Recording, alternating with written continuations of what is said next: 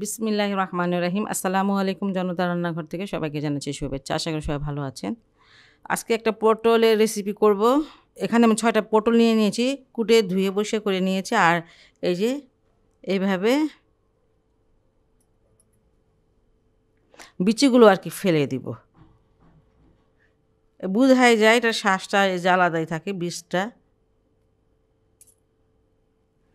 ছুরি দিয়ে করতে পারেন, কিন্তু এই যে চামচ দিয়ে সবচেয়ে ভালো হয় দেখেন আর দেখা, এখানে যদি দুই একটা বিচি থাকে যে ফেলে দেবে। আর কেউ যদি ফেলে দিতে না চান, কোনো ভাজি টাজি করলে দিয়ে দিতে পারেন। একটু লবণ দিয়ে দিচ্ছি। লবণ ছিটিয়ে দিলাম।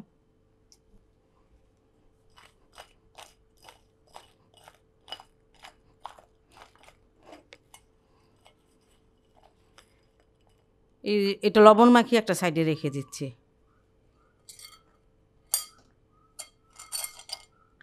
এখানে আমি আলু নিয়ে নিয়েছি, চারটা ছোটো ছোটো আলু নিয়েছি। এই আলুটাকে ভর্তা বানিয়ে নিব। চারটা মরিচ ভেজে নিয়েছি, মরিচগুলো বেশ ঝাল। মরিচটা বুঝে দিবেন, যে যেমন ঝাল খান তেমনই দিবেন। লবণ দিয়ে দিচ্ছি, স্বাদ মতো।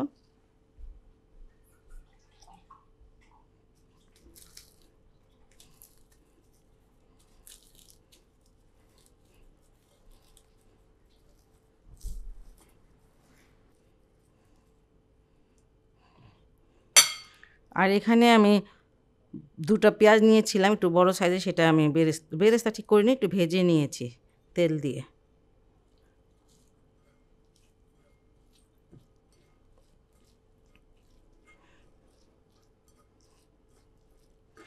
পেঁয়াজ আর মরিচটাকে মাখিয়ে নিলাম, আর এবার আলুগুলো মাখিয়ে নেব।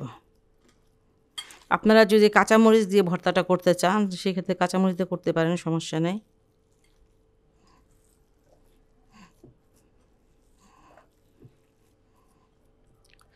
ভর্তাটাকে আমি মাখিয়ে নিয়েছি।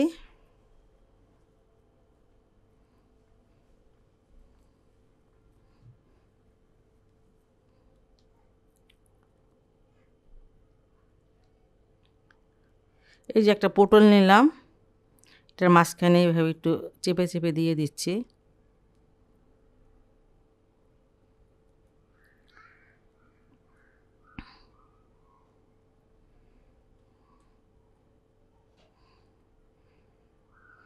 এই যে এইভাবে করে নেব সবগুলো।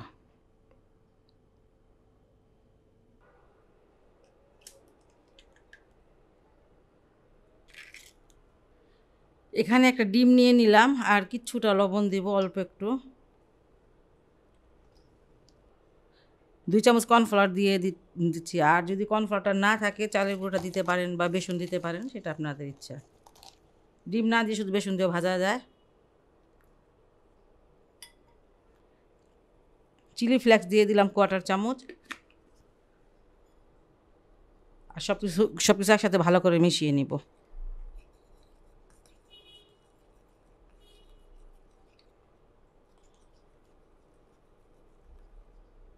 সব কিছু ভালো করে একসাথে মিশিয়ে নিলাম।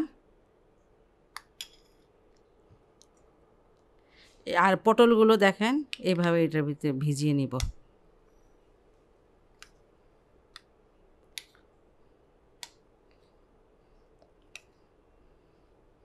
ফ্রাই প্যানে কিছুটা তেল দিয়ে দিয়েছি।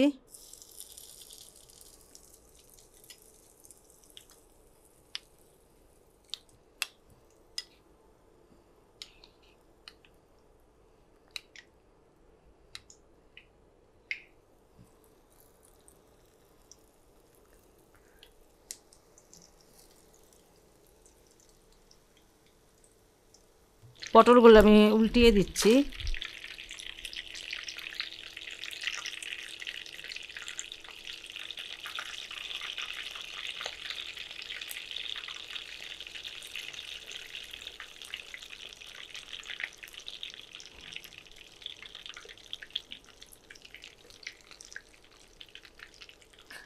আঁচটা কিন্তু মানে মাঝারি থেকেও কম আছে।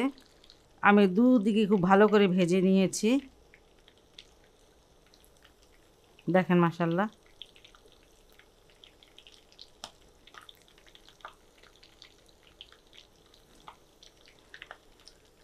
এবার আমি এগুলো নামিয়ে নিব। আপনারা দেখতে পাচ্ছেন, দেখতে মাসাল্লাহ কতটা সুন্দর হয়েছে। খেতেও কিন্তু ভালো লাগবে। এটা আপনি ভাত দিয়েও খেতে পারবেন, এমনিও খেতে পারবেন।